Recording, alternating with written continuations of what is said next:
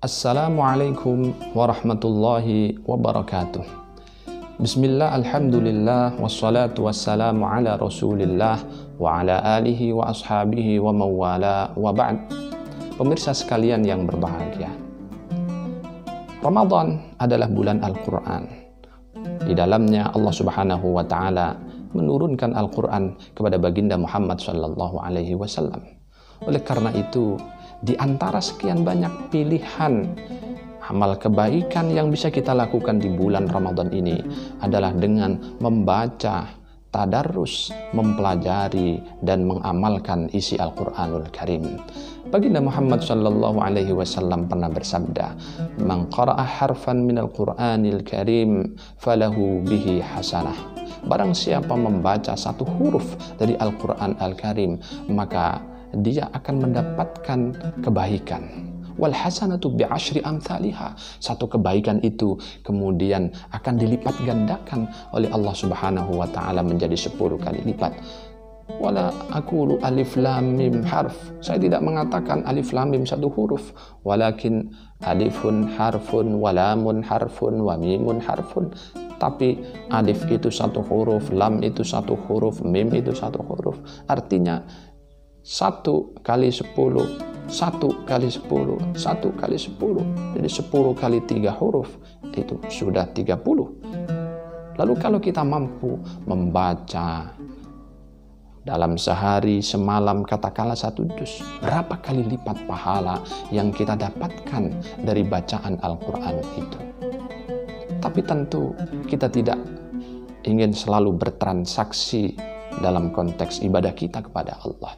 Kita penting untuk meningkatkan kualitas ibadah itu dari model ibadah transaksional dengan menghitung secara kuantitatif menjadi ibadah kualitatif yang tak lagi mengharap hitungan-hitungan kendati pun itu boleh dan disyariatkan oleh Allah Subhanahu wa taala.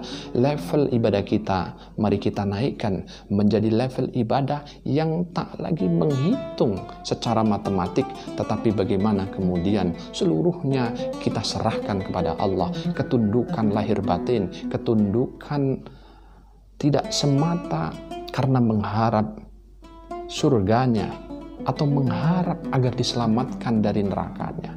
Tapi yang paling penting kalau kita ingin meningkatkan kualitas ibadah kita itu adalah seluruh ekspresi kehidupan ini baik kehidupan yang bersifat ibadah mahdoh maupun yang gairu mahdoh itu kita abdikan secara tulus dan totalitas dengan ikhlas kepada Allah Subhanahu wa taala.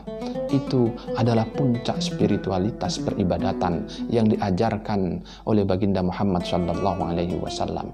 Memang tidak mudah, tetapi pelan-pelan tapi pasti mudah-mudahan kita mampu untuk menjalankannya. Pemirsa sekalian yang berbahagia. Oleh karena itu di dalam dunia sufi, kita mengenal maqamat wal ahwal, tingkatan-tingkatan spiritualitas di hadapan Allah Subhanahu wa taala.